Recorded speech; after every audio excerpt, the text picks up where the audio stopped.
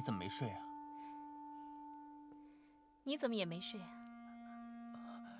睡不着，干脆就不睡了。你去哪儿啊？找人。要找什么人呢？找从天山来的人。你找他们干什么呢？和他们一起去天山大草原。是吗？这么说，我们两个是同路了。同路？同路是什么意思啊？同路的意思就是一同上路呀。啊，你是说你要到天山草原去演汗血宝马？把汗血宝马演到出汗血宝马的地方去，那才有意思呢。啊，那，你和我就可以一起同路了。是啊。可是，我不知道我能不能找到那几位从天山来的朋友。你一定会找到的。你是说你会帮我？嗯。那我先谢谢你了。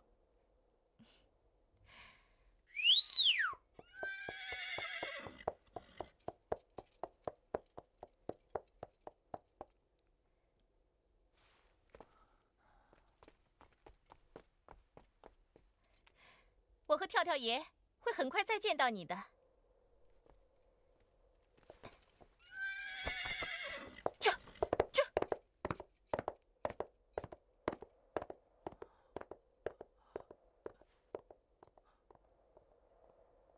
我这是怎么了？这天底下的怪事儿，怎么都让我一个人给摊上了？哎呀别吹了，风车。嗯，你对姐说句实话，金袋子这个人，值不值得姐姐去喜欢？那要看你喜欢他什么。嗯，姐姐也说不清楚到底喜欢他什么。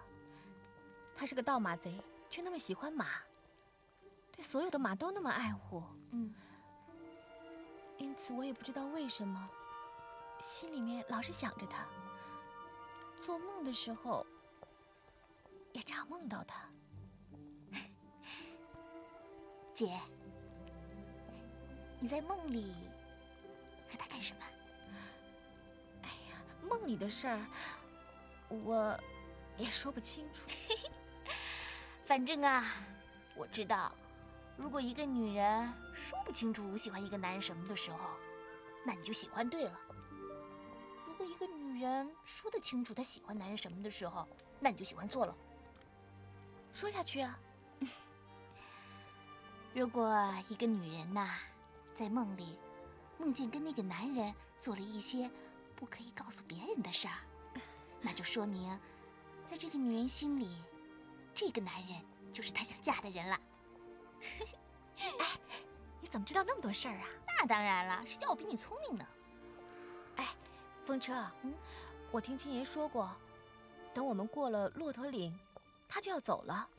到时候他要真走的话，姐求你了，帮我把他留下来，好吗？啊，嗯，这个事儿啊，等咱们到了骆驼岭之后再说吧。那是为什么？我也不知道。最近我的眼皮老是跳，我老觉得有什么事儿要发生似的。至于金爷嘛，他这个人嘴巴硬心肠软，不会有什么事儿的。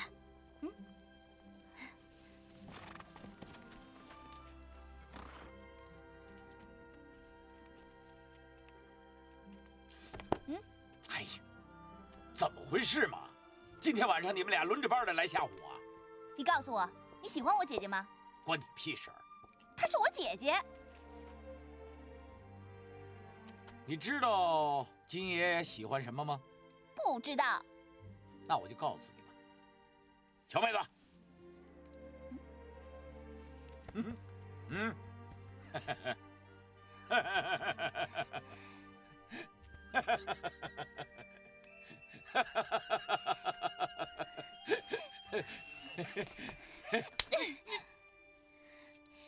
今天我告诉你，我姐姐是头一回喜欢男人，她是真心的。你要是让她伤心的话，我会杀了你。哼！站住！过来，我问你话。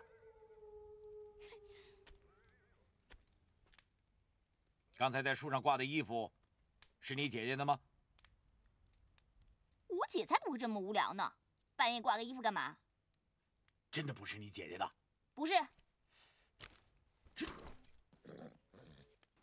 要不是你姐姐的，这地方肯定有人来过。肯定有人来过，快叫醒你姐姐，今晚谁也不许离开马一步。哎，喂，啊，那衣服就不能是我挂的？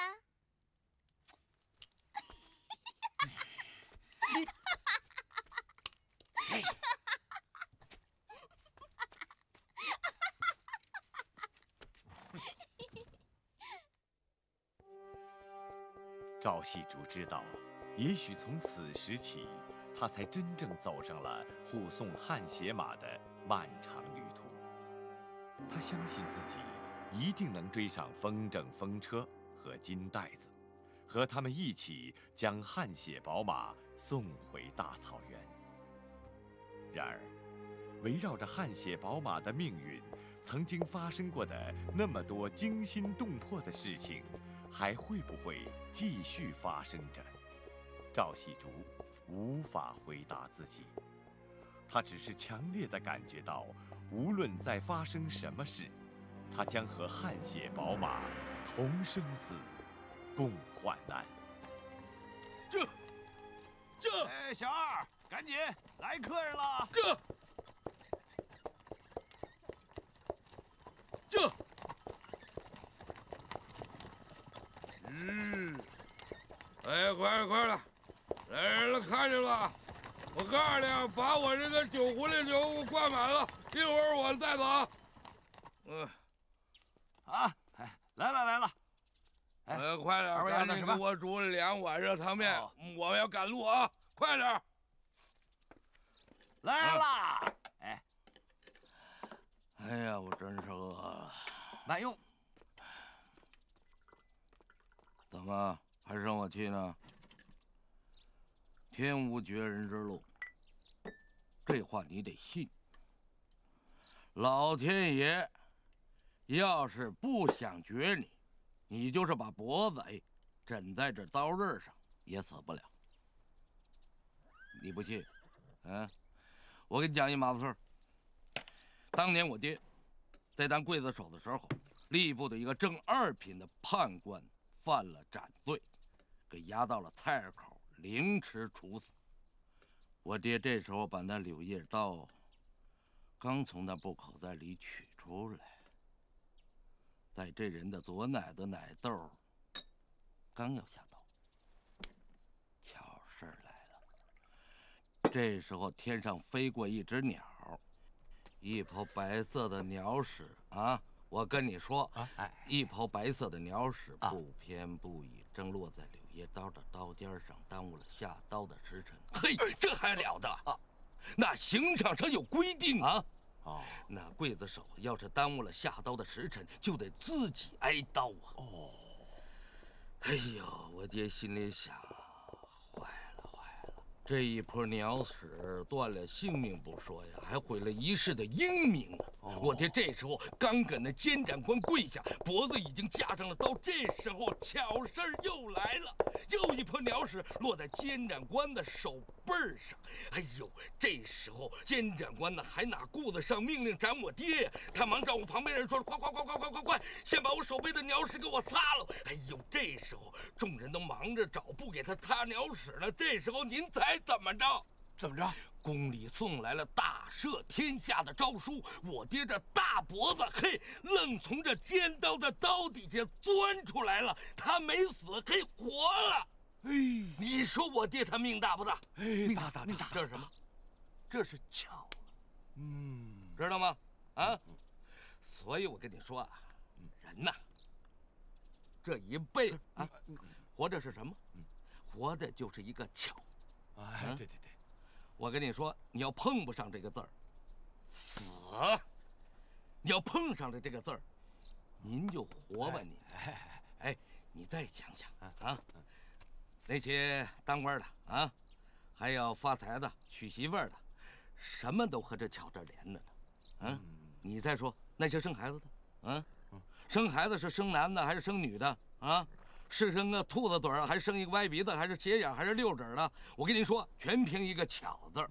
啊，我跟你说，要巧正，那爹妈啊，长得那脸让门给挤成这模样了。嘿，我跟你说，生出那孩子跟个天仙似的。哦，要是巧错了，就算爹妈长得跟天仙似的，嗯，那儿子生出来长得就跟你这么样，跟鬼似的。啊，哎，你再说了啊。就那些河里头撞船的啊，那胡同里撞墙的，那路上撞车的啊，什么和巧的不连着？哎，你说那么多人，怎么偏偏就撞你呢？你说，啊，你说我说的有没有道理啊？哎呀，有有有有有。哎哎，我说鬼手啊，我跟你说啊，马大帅这码子事儿，你呀甭急啊，咱们呢就按着马大帅指路的那个图啊。咱们哎，就顺着走，没准哪一天真的巧上，一甩绳子，嘿，套上个汗血宝马嘞，嘿嘿嘿嘿，你说是不是？哎，滚手了，滚手了，哎，滚手了，啊，这干嘛去了？哎，惦记，过来，滚手了，来了来了，没看见，没看见。怎么一眨眼就没了？怎么了？啊！一家女人叫鬼手啊？怎么了？他名字不好听啊？啊！这什么字都能说，唯独这个巧字不能说。我刚说这么个巧字，就把这女人给巧丢了。哎呦！这这这，拿着拿着拿着拿拿着，给给给给！谢谢谢谢啊！哎，谢谢谢谢。巧吧？把女人给巧丢了吧？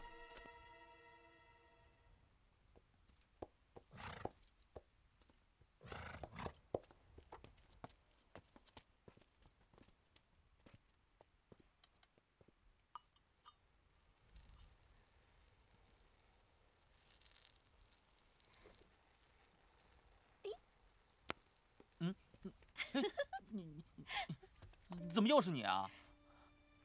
怎么，你还没有找到你的马？没有，那马他可能知道我要找天山来的几位朋友，怕我着急，跟我通了灵性。哎，你可别过来啊！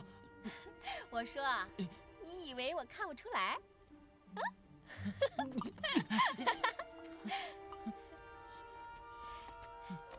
你用过这个太监用的尿桶子吗？你到底是谁？我是鬼手啊！这是你不能摸的，放开你的鬼手！赵细竹，我可什么也没看见，你继续做你的太监吧，一辈子也别做男人了。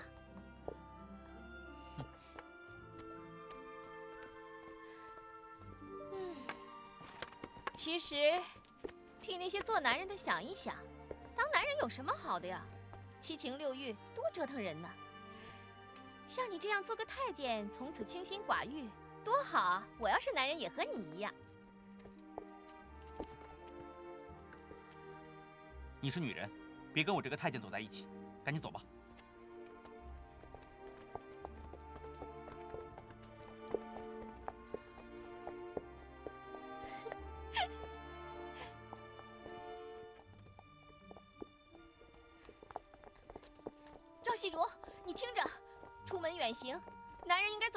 前面才对。为什么呀？碰上拦路打劫的，男人也好先抵挡一阵子，让女人先逃跑啊。可这世界上，没有人把我当成男人。哦，我忘了你是个太监了。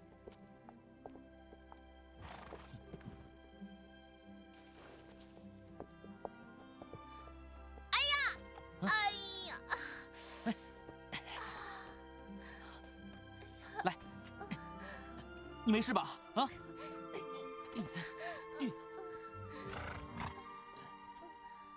你可真沉啊！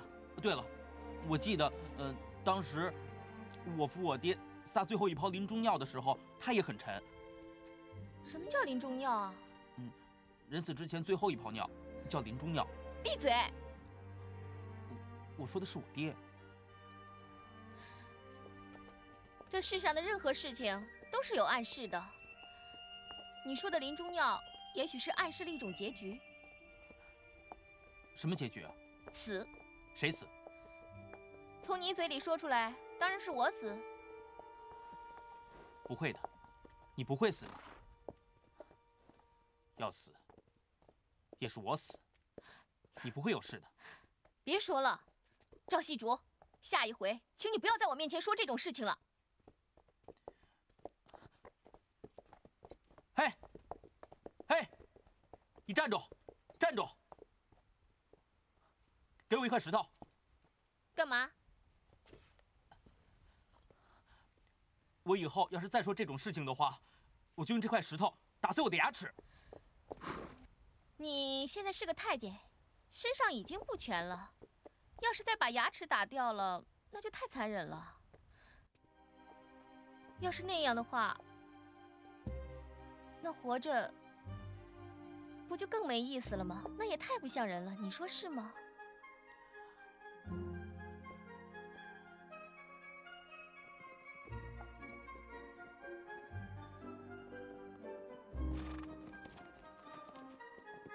哎，金爷，嗯，这就是骆驼岭了吧？这山口啊，就是骆驼岭的山口。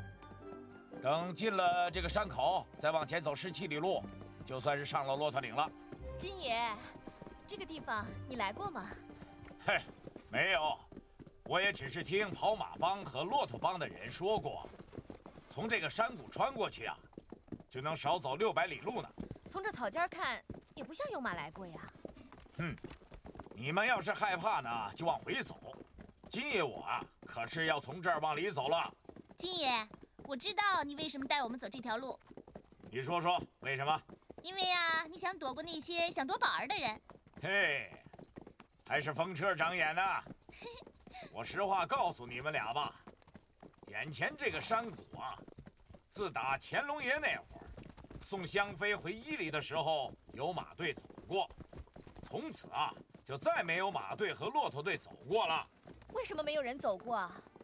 送香妃的马队穿过这山谷的时候，怎么也点不着火，那火呀一点就灭。那个马队啊，是摸着黑走完了十七里古道的。等马队走出山谷的时候，哎，摔死了三十二个人，还摔死了四十三匹马。从那以后啊，这个山谷就得了个名儿，叫无灯谷。无灯谷，那么吓人的名字啊！只有吓人的地方，想夺汗血马的那帮王八蛋们才不敢来呀、他们不会想到，我们走的会是这么一条没人敢走的路。嗯，你别再跟着我了。实话跟你讲，我这一趟去找的是一匹汗血马。你不在天桥演戏，跟着我干什么呀？你这句话都已经说了一百遍了，你不演戏了吗？谁说我不演了？我要是一高兴，没准又演上了呢。你从京城一路跟着出来，是不是想保护汗血马？我能保护汗血马吗？能。你怎么会这么想？我总觉得有些地方，你跟一个神秘的女人很像。她是谁呀、白袍人，啊？想不到，在这个世上还有另一个女人，在你眼里能跟我一样。这，这，我说你快点儿，这，这，快跑！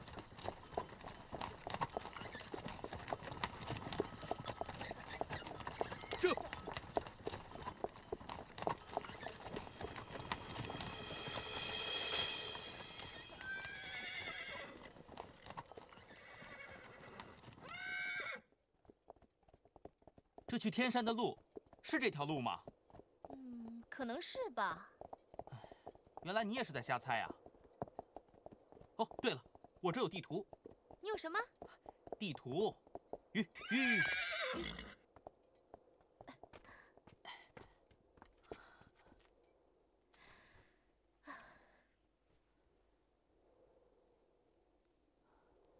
这个山谷，应该就是无灯谷了。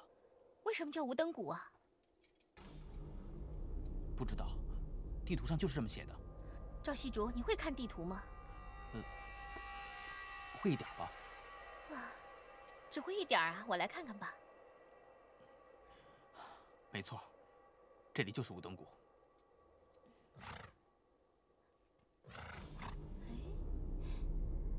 你看，这还有一条更近的路通向五等谷。那些抢马的人一定会走这条路的，我们要赶快走啊，要不然就来不及了。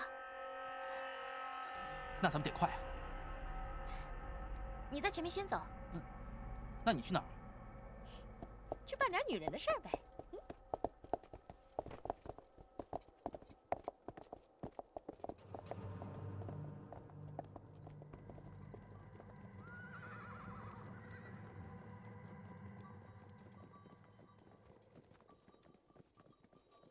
金爷，这条路真的从乾隆爷那会儿就没人再走过了吗？只有上山能擒鹰，下潭能斩龙的江湖独行客，才有那么几个人走过。嗯，金爷，说实话，这条路你走过吗？嘿，这么说，这条路你一定走过了？嘿，金爷我呀，也就走过那么一两回啊。吹牛。哼。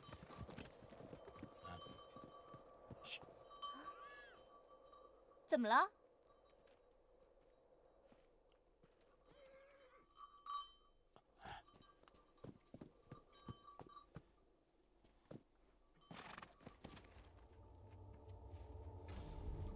金爷，你听什么呢？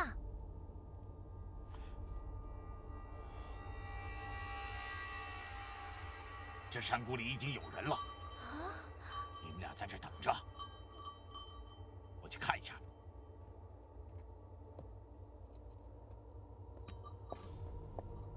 就就，你们俩在这等着，千万不要动啊！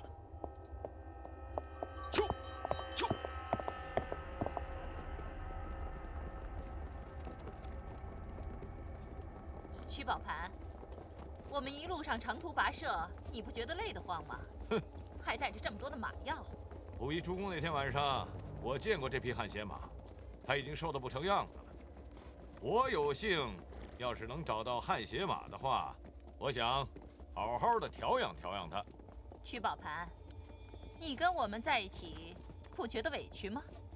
哼，委屈不委屈，你问问邱雨农就知道了。啊，来了，小姐。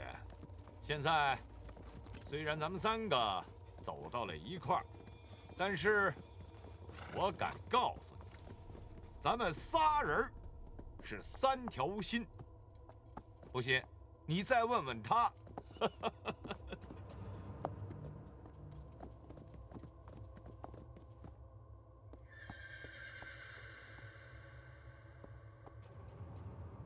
我现在已经听见了，仨人四匹马已经从这儿过来了。我怎么没听见？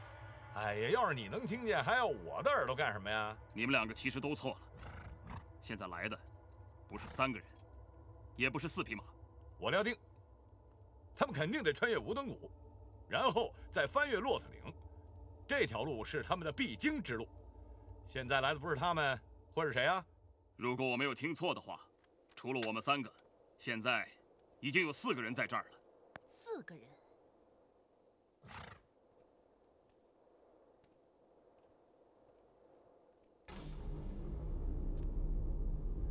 对呀，我就是第四个人。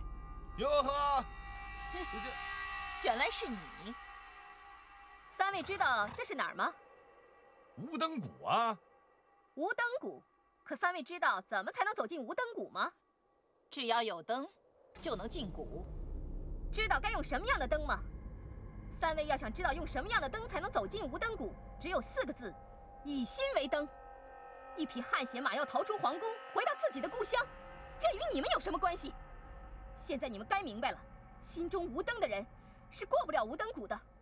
三位还是请出谷吧，不要逼我动手。白袍人，我白玉楼小看你了。那天我没有对你开枪是失策。你不仅没有感谢我留你一命，反而一直在跟踪我们。不对，应该说是我一直在跟踪汗血马。你不要再废话了，你心里明白，你只要杀了我们三个人，你就不必再为汗血马担心了。你为什么还不动手呢？我从不滥杀无辜，但是谁要敢夺汗血马，就别怪我不客气了。你怎么知道我们会夺汗血马呢？此地无银三百两，不夺汗血马，你们跑到荒山野岭来干嘛？还是回去吧。要是不想活了，现在就可以出手。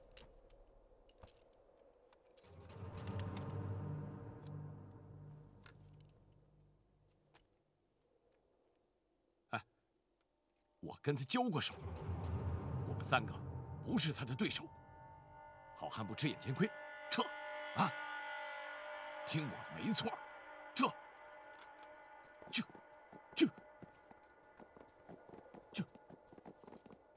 你为什么还不撤？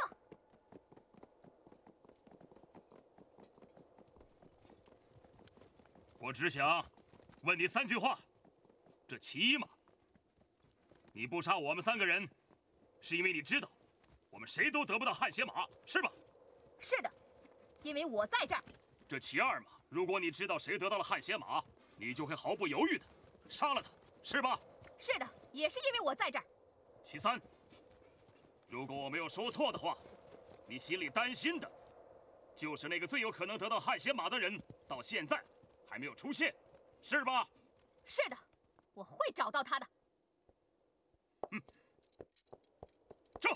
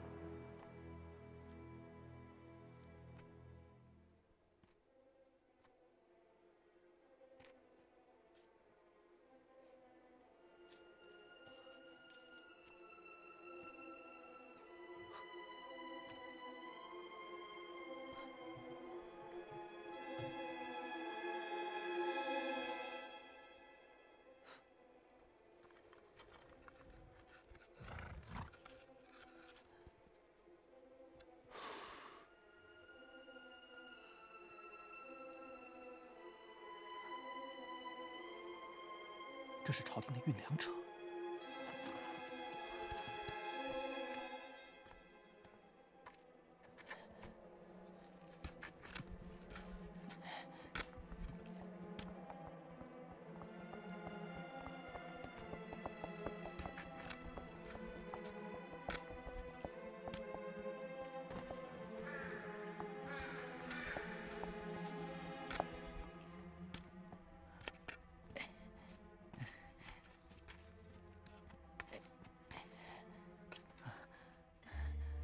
怎么去了那么长时间？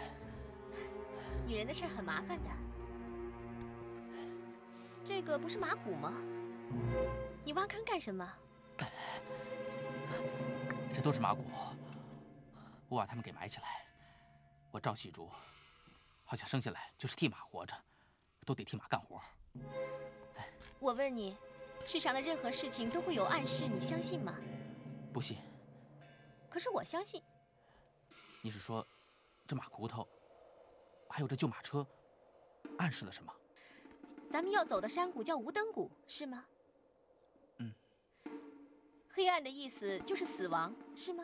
嗯。你被一张古老的羊皮地图引到了一个通向死亡的山谷，为了保护一匹马，你为了躲过那些心怀鬼胎的人，来到了这个干涸的河床。于是你在这儿看到了这具马骨，这么联想起来，你就不会不明白了。你在这里所遇到的一切事情，都是在暗示着一个字。一个字？什么字？死。要是我不怕死，你说的这个暗示还会应验吗？在你身上不应验的话，就会在别的地方应验了。你是指什么？马？马？汗血马吗？汗血马现在有危险。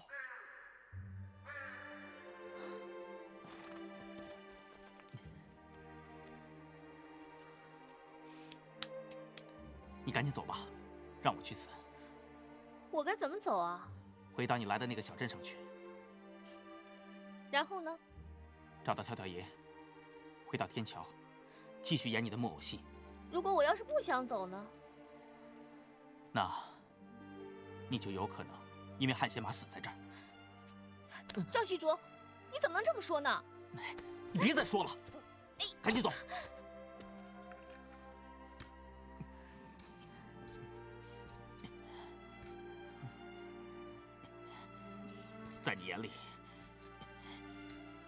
我已经不是一个活人了。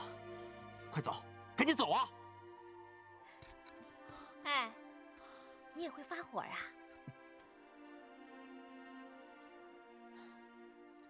谁都会发火。以前在宫里的时候，我听赵公公说过，有一个小太监，他从来没有发过火。有一天，他在扫地的时候。被一阵风一吹，身上就突然着了火，结果把他和那把扫帚全都烧成了灰烬。那是他遭到了雷击。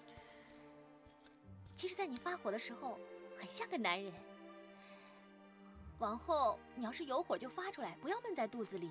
你现在已经不是宫里的太监了，你想说什么，想骂什么，想哭想笑，都没有人再管你了。你记住了吗？往后啊，谁要是再欺负你，你都不要害怕，不要再退缩，不要再软弱了，记住了吗？记住了。千万不要自己看不起自己，只有自己看中了自己，别人才会看重你。你记住了吗？这话也记住了。你并不比别的男人差，只不过是在宫里待的有点儿……有点什么？有点傻是吧？嗯你别再把自己当成太监了。从今往后，把腰里的尿桶子扔了，把胡子留起来，像像样样的做一个大男人，这样不好吗？你，你真的看出来了？嗯，我知道，一个做惯了太监的人，让他回头重新做男人，那是很难的事。可是你本来就是个男人，不应该再想着自己是太监了，更不应该怕自己是男人呐。我。真的是我啊，那好吧，既然你现在太监的阴影里走不出来，我也就不多说了。我是女人，知道要对一个男人说这种事有多难。我知道，你这些话都是好心。别再为难自己了。我想，迟早有一天你一定会这么做的。你说你会吗？也许，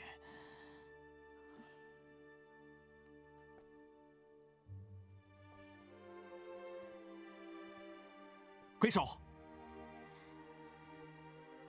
你是演汗血马的，我是送汗血马的。我们俩能走到一起，这好像就是天意。我已经觉着，我是为汗血马活着的人。你跟我一样，所以你说的每一句话。我都不能不信。我先走，在五等谷等你。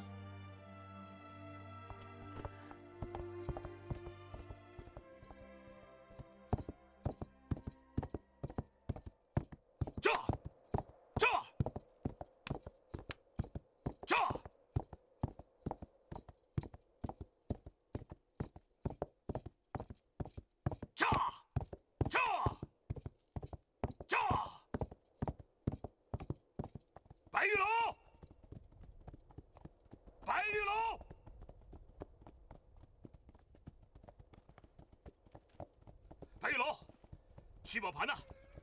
一转眼他就不见了，他可能有意想撇下我们。邱雨农，我一直在想，聚宝盘这么喜欢马，他绝对不会让我们两个得到汗血马的。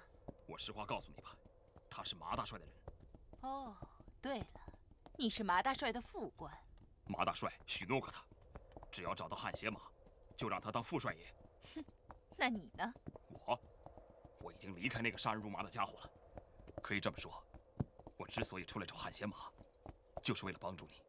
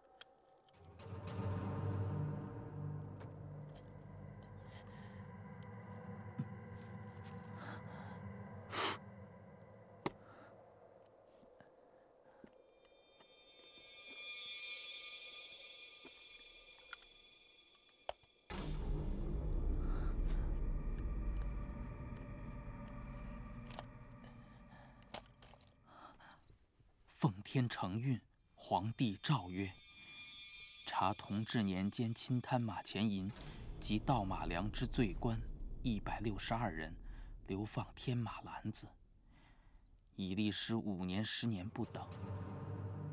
马政为兴国之首要，本不可轻缓。念彼日夜修筑马房为功，日照月喜，却资蓄马息国之心。着令全数特设归籍，所驻马房，交与兵部车马清吏司掌管，以御数倍。一并告知甘肃、甘州、凉州、西宁、肃州等地马场，若有马匹倒闭，须将马耳、马尾割回呈验，不许逆报。照常支领草料，钦此。光绪元年十月八日，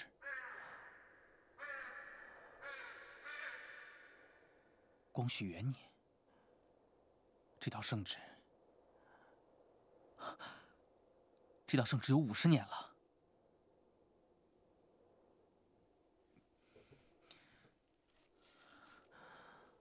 五十年家国，不就烟云一瞬吗？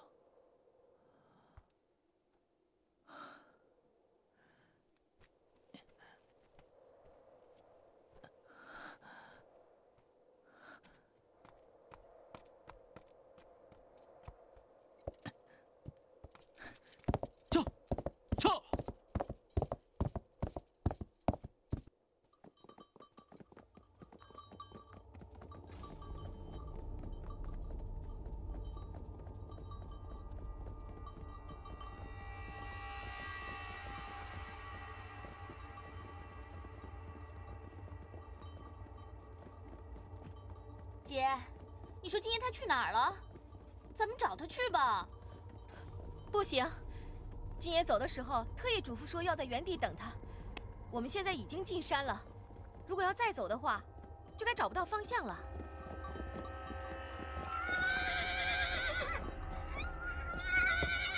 姐。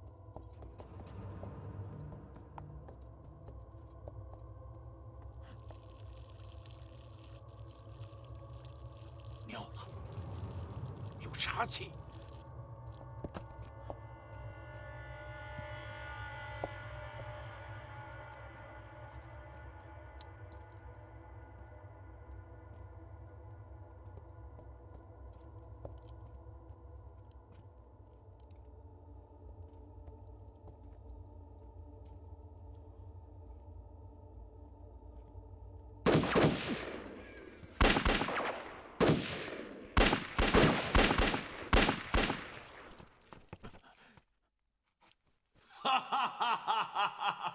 你好大的福分呐！啊！能死在无灯谷的人不多。要是我没猜错的话，你就是那位大名鼎鼎的盗马贼金袋子吧？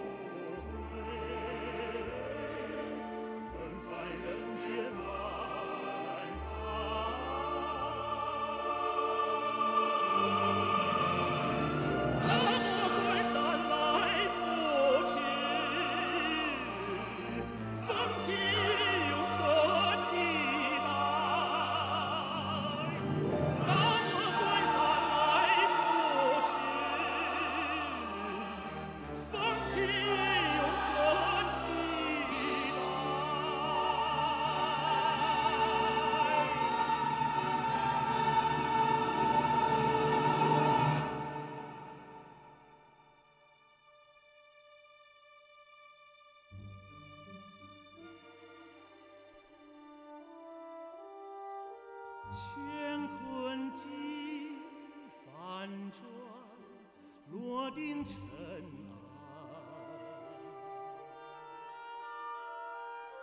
江河流不断，继往开来，让生死离别深沉怀。